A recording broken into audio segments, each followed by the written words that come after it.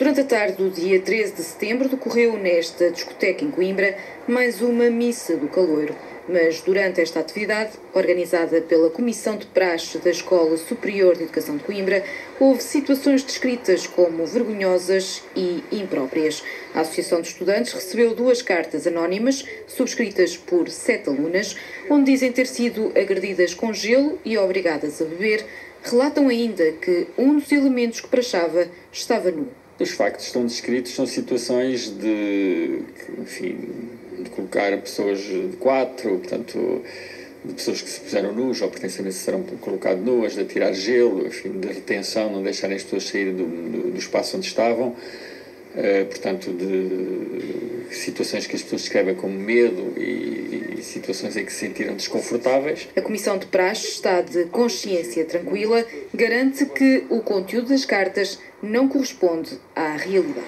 As nossas atividades, toda a gente sabe dentro da nossa escola que são facultativas, uh, obrigar ao consumo de álcool nunca, obrigar à permanência das pessoas nunca, obrigar a, que as pessoas marquem presença nas atividades nunca. Perante a denúncia, a direção da escola decidiu nomear uma comissão de inquérito para entrevistar as entidades identificadas nas cartas e eventuais testemunhas. Os abusos têm sempre um lado de subjetividade. Né? Há abusos que estão consignados na legislação e que são mais objetivos, agressões físicas, outro tipo de abusos.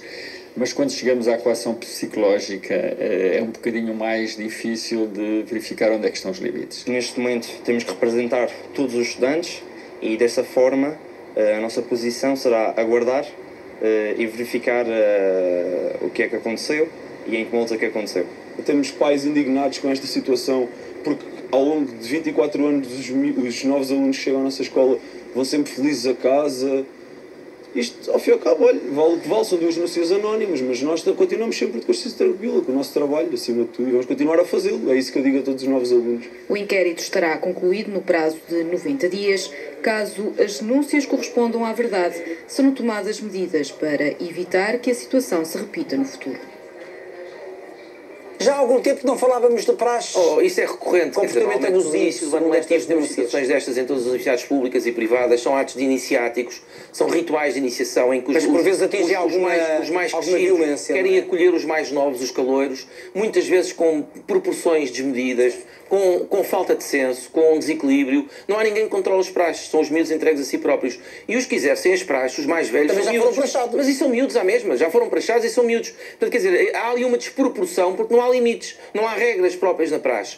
E muitas vezes as universidades deixam andar, eh, as, as associações académicas também funcionam um bocadinho eh, no sentido de deixar andar a praxe. E, Mas a praxe eu, não tem que ser sinónimo de humilhação. Não, não tem. Isso é que não pode ser mesmo. Eu sou professor universitário e, e não, as praxes acho que são rituais de iniciação muito antigos na, na, academia que fazem sentido como rituais de iniciação que são, não como atos de humilhação. O rapaz andar nu à frente da miúda ou, ou picá-la com gelo ou o que seja, não parece que seja adequado para a dignidade do próprio meio académico. E estamos aqui a falar eventualmente de crimes. Ofensa à integridade física simples, punida com a pena até 3 anos de prisão, se, se, se, houver ofensa à integridade física e eventualmente maus tratos, que é uma pena que pode ir até aos 5 anos de prisão, porque muitas vezes há maus tratos no contexto deste, porque são obrigados a fazer coisas que são humilhantes como há pouco tempo aconteceu na Universidade, não sei se foi de Évora, o miúdo que foi que, com a cara toda cheia de farinha e era obrigado a rastejar, são práticas de humilhação. E as práticas de humilhação não, não são práticas académicas, porque a academia é muito mais elevada do que isto.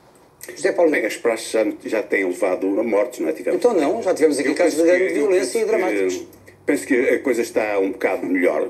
Elas continuam a efetuar. Já há algum tempo não ouvíamos falar. As instituições, as instituições devem tomar medidas para que não aconteçam esse tipo de abusos.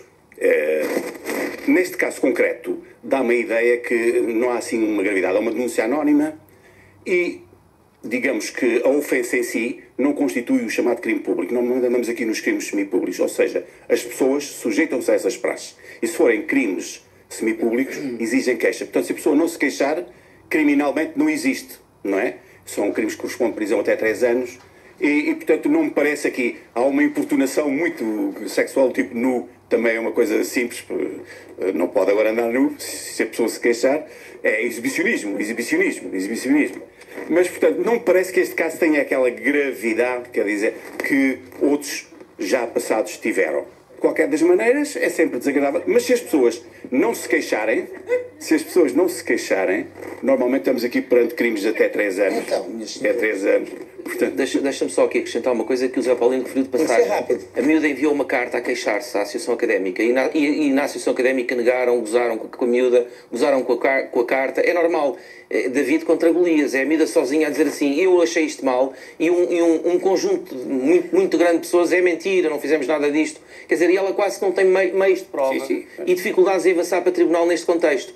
E isso não quer dizer que não tenha acontecido e ela não se tenha sentido humilhada e, e- e sem dignidade neste caso. E agora imaginemos qual vai ser o comportamento desta jovem aluna no decorrer do ano Mas, letivo, Manuel, não é? Porque ela problema- estará... Então tem razão o que o está a dizer, mas o mais grave do que ele está a dizer é o seguinte: esta miúda que escreveu para a reitoria, que escreveu para aqui, depois não acreditam nela, ela fica sozinha. So- para uma sozinha queixa- face aos paros, não é? Mas Claro, como é um crime, claro. existe queixa, ela criminal. apresenta a queixa-crime. E ao apresentar a queixa-crime tem que fazer a prova, ou tem que indicar. Claro. Indica testemunhas. E às vezes são os próprios colegas Claro. que viram tudo Claro. passaram, e Claro. dizem que não. Claro. Claro. E, eh, portanto, está aqui uma situação um bocado difícil. Meus senhores, agradeço a vossa presença.